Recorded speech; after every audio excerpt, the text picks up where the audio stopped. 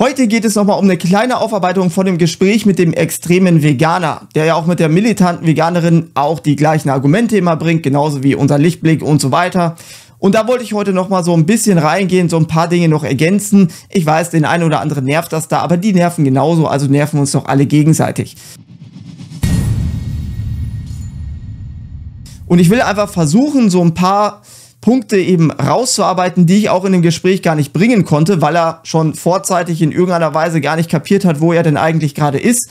Und wahrscheinlich einen Gesprächspartner hatte, der über das hinausgeht, was er sonst so hört, nämlich ja, ich esse Fleisch, weil es mir schmeckt. Und er dann einfach intellektuell gar nicht hinterherkam. Und das werde ich heute eben einfach mal nochmal etwas detaillierter aufzeigen. Ihr findet unten drunter auch einen Artikel verlinkt, den ich geschrieben habe, zu diesem Thema, wo ihr alles nochmal nachlesen könnt, beziehungsweise gerne dann auch hier unter dem Video kommentieren, dann ergänze ich das da auch oder lade eben auch weiterhin gerne in Gespräche ein. Und ich will auch hier sagen, dass natürlich ich kein Ethikwissenschaftler bin, ich das Ganze auch nicht als Wissenschaft eben wahrnehme bzw. sehe und deshalb auch bestimmte Punkte gar nicht als so wichtig empfinde, wie eben immer wieder dargelegt wird. Die Ethik ist auch sehr komplex und kann auch aus verschiedenen äh, Richtungen oder kann verschiedene in sich konsistente ähm, ja, Bereiche eben enthalten. Das heißt, man kann verschiedene Bubbles aufbauen im Endeffekt, in denen man sich am Ende bewegt, ohne dass man jetzt irgendwie Lust hat, mal in die andere Bubble reinzuschauen, was man eben auch bei dem extrem Veganer oder der militanten Veganerin etc.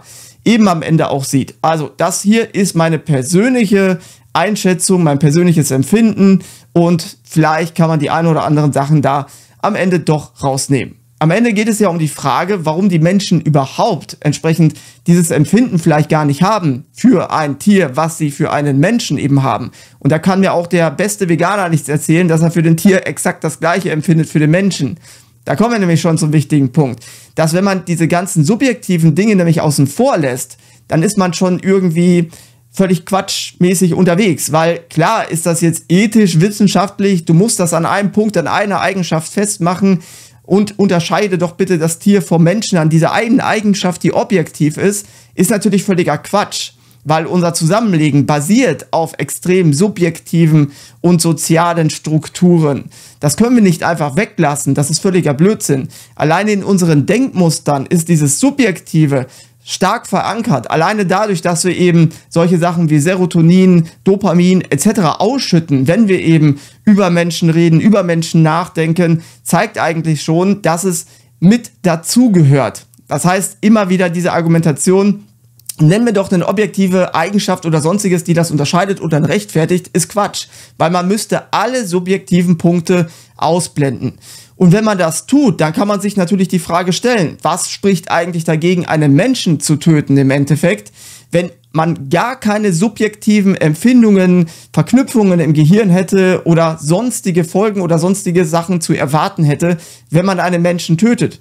Das könnte man den Veganer auch fragen und dann wird es nämlich sehr schwierig, weil er andersrum auch mit subjektiven Eigenschaften im Endeffekt dann argumentieren würde und das geht natürlich dann nicht, wenn man sich auf gleicher Ebene treffen möchte. Aber ich möchte zumindest versuchen, auch wenn es am Ende vielleicht falsch ist, einen objektiven Punkt eben anzubringen, der das Ganze trotzdem unterscheidbar macht, warum wir uns überlegen fühlen zu Tieren oder zum Beispiel auch anderen Menschen. Weil selbst bei den Menschen selbst machen wir Unterscheidungen, wenn sie bestimmte Einschränkungen haben etc. Und da muss man natürlich dann einfach mal ehrlich sein und sagen, das ist die Natur im Endeffekt und im Endeffekt spricht auch nichts dagegen, wenn man dann diese Unterscheidungen zwischen Mensch und Tier macht und dann eben auch Tiere isst oder eben tötet. Grundsätzlich muss man dann einfach sagen, wenn man alle subjektiven Eigenschaften eben wegnimmt, die man so anbringen kann, das heißt sowas wie die sozialen Verträge oder ja, ähm, wir haben anderen Bezug zu Menschen als zu Tieren und solche Geschichten, dann ist das Ganze natürlich auch objektiv, ja, da sind Mensch und Tier einfach nur eine Hülle, die da stehen. Und dann muss man sich eben tatsächlich fragen, was ist denn jetzt überhaupt richtig und falsch? Alleine die Tatsache, dass der Mensch im Gegensatz zu dem Tier eben in der Lage ist, diese Frage zu stellen, was ist richtig oder falsch? Was ist denn jetzt ethisch? Was ist denn Moral? Und diese ganze Komplexität, die damit natürlich einhergeht und in unserem Gehirn diese Möglichkeit überhaupt besteht, diese Komplexität auf eine subjektive und objektive Ebene zu bringen, Das unterscheidet alleine schon den Menschen vom Tier.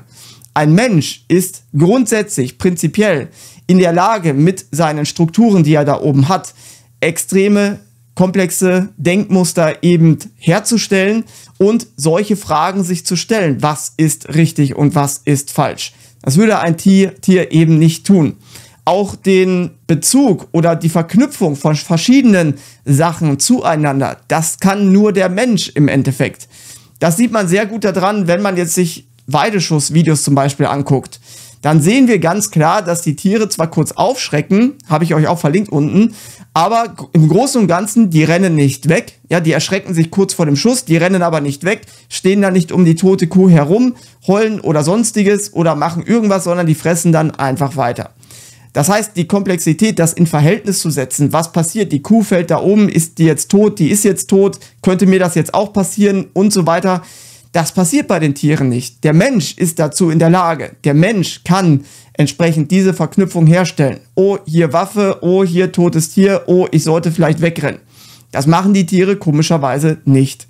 Und da wäre ja schon der erste wirklich auch objektive Unterschied, die Eigenschaft, die einen Menschen von einem Tier unterscheidet, und zwar die Fähigkeit, das Potenzial entsprechend diese komplexen Denkmuster überhaupt zu entwickeln oder zu bekommen.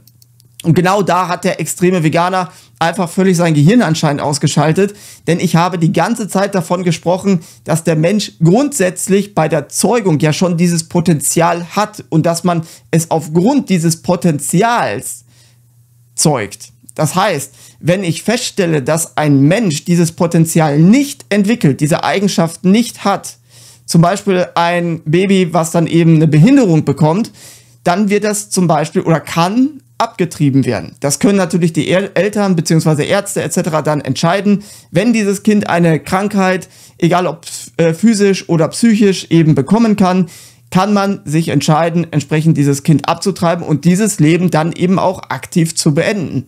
Das heißt, auch da machen wir schon innerhalb des Menschen einen Unterschied bei der Komplexität des Denkens und des Seins, was man eben dann, wenn jetzt zum Beispiel ein Kind mit sehr starker Behinderung zur Welt kommen würde, eventuell hätte und dann auf der Ebene von einem Tier wäre, was jetzt die Denkmuster oder die Komplexität betrifft, dann entscheiden wir selbst beim Menschen, dieses Kind eventuell eben abtreiben zu lassen. Genauso sieht es aus bei der Sterbehilfe, beziehungsweise bei Menschen, die im Koma sind, etc.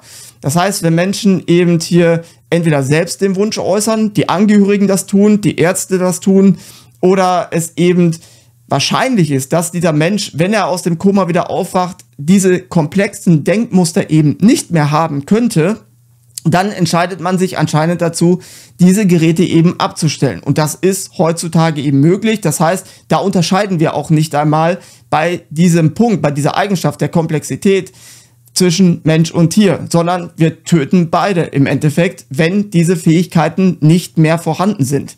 Das ist natürlich auch ein subjektives Einzelempfinden und Entscheidung, dass man natürlich auch sagt, okay, ich möchte dieses Kind dann eben auch zur Welt bringen, ich nehme die Belastung vielleicht auf mich. Dieses Kind bedürft oder bedarf natürlich dann auch einer besonderen Behandlung, Fürsorge, medizinische Fürsorge, die wir auch nur hier entsprechend in der westlichen Welt bieten können.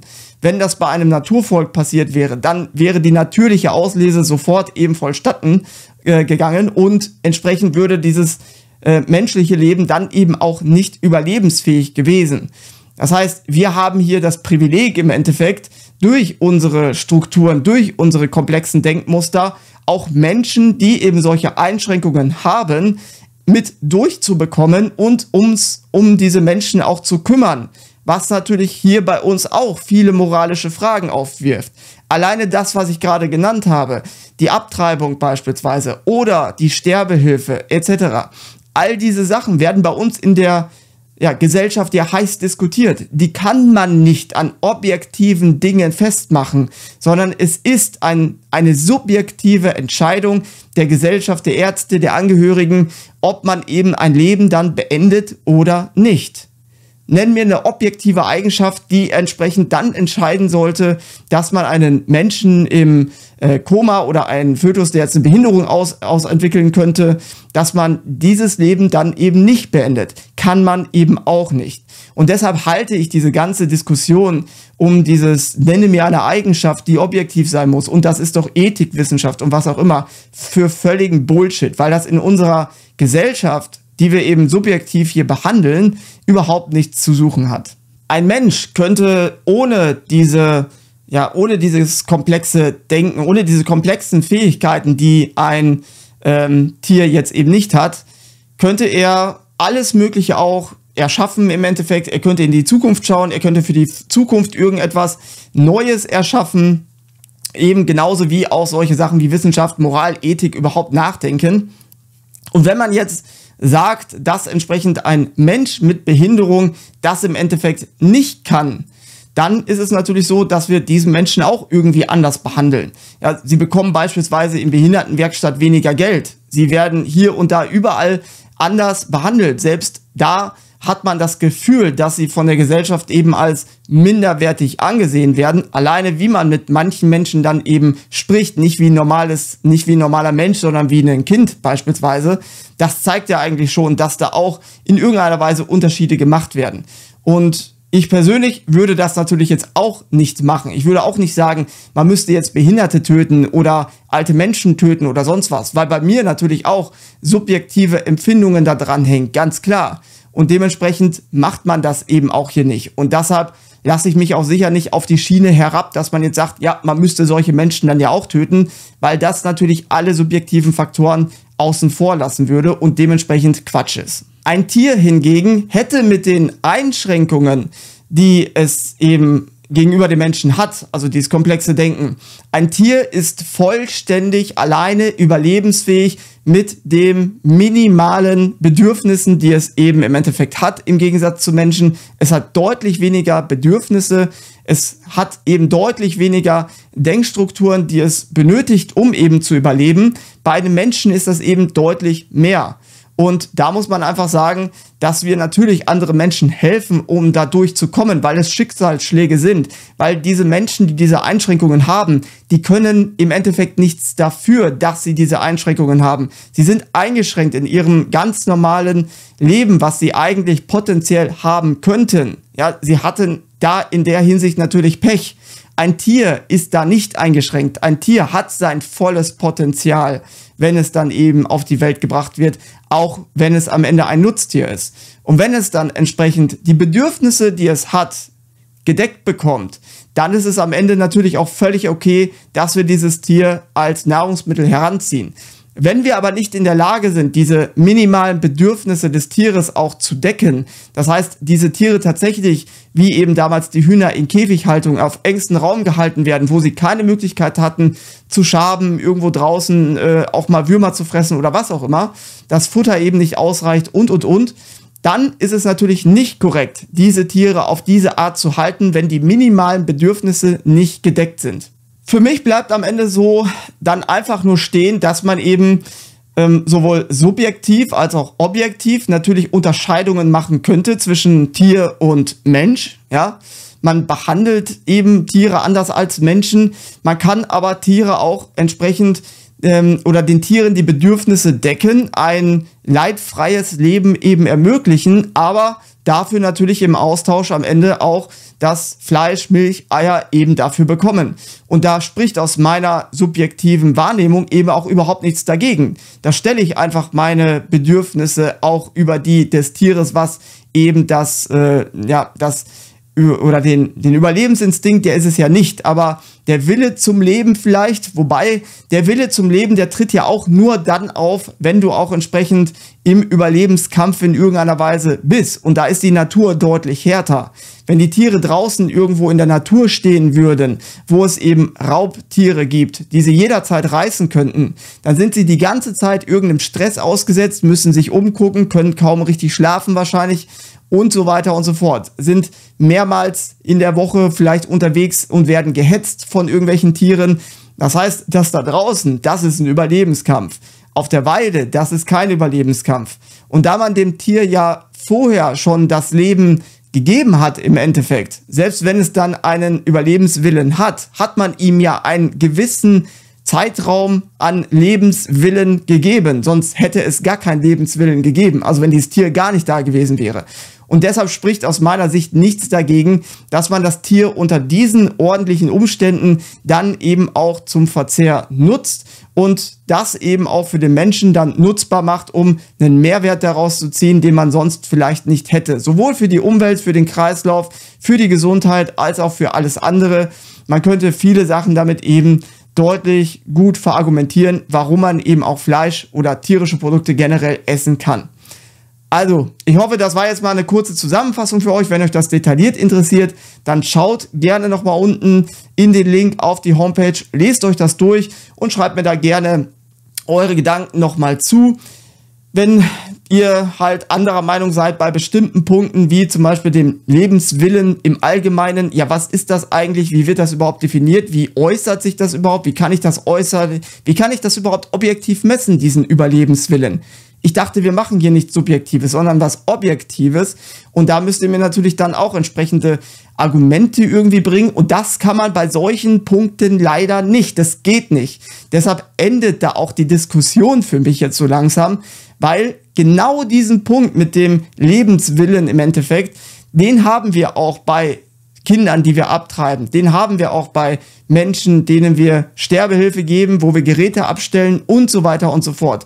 Wir haben dieses Überlebenswillen, das haben wir an vielen Punkten durch unser Handeln hier sowieso schon überall minimiert oder verringert. Das heißt, wenn da irgendwelche Kinder in äh, in Minen arbeiten, um hier entsprechend unsere Elektronik zu bekommen. Wenn eben für Katar, für die Fußball-EM da irgendwie tausende äh, Sklaven im Endeffekt äh, draufgehen und es interessiert sowieso keine Sau, dann weiß man einfach, dass entsprechend dieser Punkt des reinen Überlebens im Endeffekt völliger Quatsch ist, dass man den auch nicht anbringen könnte, um irgendwie zu sagen, wir dürften jetzt gar nichts mehr, weil dann müssten wir uns, wenn das der Punkt ist, dann müsst ihr euch tatsächlich einsperren, dürft nicht mehr mit dem Auto fahren. Und da hat der extreme Veganer nämlich auch keinen Gegenargument, kein Gegenargument gebracht, weil wenn am Ende nur dieser eine Überlebenswille dann dieser Punkt ist, ja, dann ist auch verboten, mit dem Auto zu fahren, mit dem Zug zu fahren, wo dann entsprechend Millionen von Insekten vorne an die Scheibe kommen, denn auch die Insekten haben am Ende natürlich einen Willen, am Leben zu bleiben. Ja, sie würden alles dafür tun, eben nicht zu sterben und trotzdem macht der extreme Veganer oder die militante Veganerin das eben doch an verschiedensten Stellen. Also das kann nicht der Punkt sein. Und dementsprechend hoffe ich, dass euch dieses Video hier jetzt zumindest, naja, vielleicht lässt es den einen oder anderen wieder über die Schwänge diskutieren und ich bin auf jeden Fall an einem Punkt, wo ich auch ja, nichts mehr aufnehmen kann im Endeffekt. Ich habe in die andere Bubble reingeschaut, aber ich sehe da eben bei den grundsätzlichen Fragen sehe ich da auch keine Möglichkeit in irgendeiner Weise ein anderes Gefühl zu entwickeln, was Objektives zu entwickeln. Es gibt nichts Messbares oder sonstiges.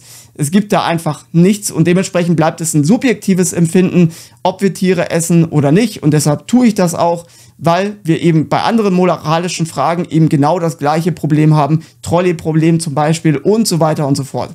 Aber schreibt ihr unten rein, ob ihr eine Lösung dafür habt. Diskutiert gerne mit mir, kommt in den Livestream, in den Video, wie auch immer ihr wollt. Ja, diskutiert mit mir über dieses Thema, versucht mir irgendwelche anderen Sachen noch vorzubringen. Und ansonsten lasse ich mir mein Steak eben schmecken, meine Eier schmecken.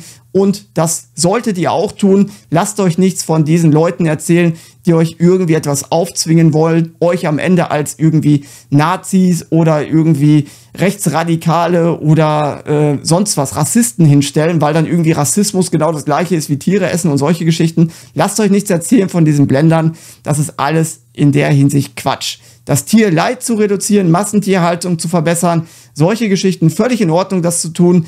Aber eben grundsätzlich die Frage zu stellen, darf man Fleisch essen oder nicht, dafür gibt es keine richtig oder falsch Antwort meiner Meinung nach.